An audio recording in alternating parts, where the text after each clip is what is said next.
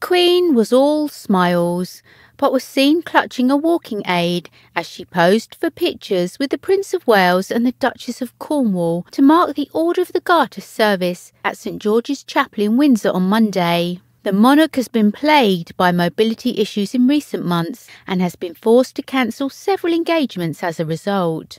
Her Majesty was using a walking stick made of light wood with a metal clasp and a smooth marble handle, believed to be a gift from the armed forces as part of her Jubilee celebrations earlier this month. But she arrived at the service looking regal in an opulent silvery white gown. She held a matching silver handbag, silver heels, a blue garter sash, her garter star badge, and her bow brooch.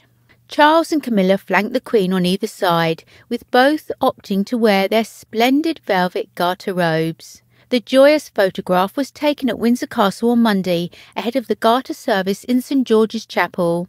In light of the Queen's ongoing mobility issues, the 96 year old did not take part in the traditional procession of Garter knights and ladies through the grounds of the Berkshire Castle. Despite this, she did end up attending a behind the scenes lunch and investiture ceremony. This year's Garter Day was beset by an internal struggle after the disgraced Duke of York was forced to remain out of sight during the procession after a family decision was taken to limit his appearance to the lunch and investiture ceremony. Having stepped away from public life in 2019, the Queen's third child made a private appearance in his role as a Garter Knight. Camilla was in the procession for the first time, having been appointed a Royal Lady of the Order of the Garter back in December. The Order of the Garter is the oldest and the most senior order of chivalry in Britain, established by King Edward III in 1348.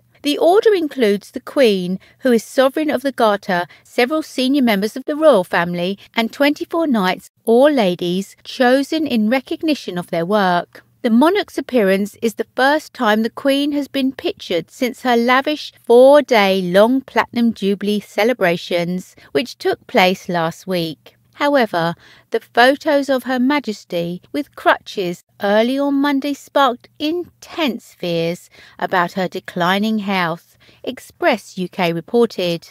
The picture in question shows the frail 96 year old monarch standing alongside Prince Charles, the heir to the throne, and his wife Camilla, Duchess of Cornwall. While the monarch has been seen with a walking stick earlier, it is the first time she's been photographed with what appears to be a crutch rather than a walking stick. The photo has sent shock waves through Britons who are already worried about their Queen's frail health, increasing mobility issues, and decreasing public appearances. It is pertinent to mention that the Queen also pulled out of her Platinum Jubilee festivities, only appearing publicly twice on the Buckingham Palace balcony. The Queen also missed the state opening of Parliament last month.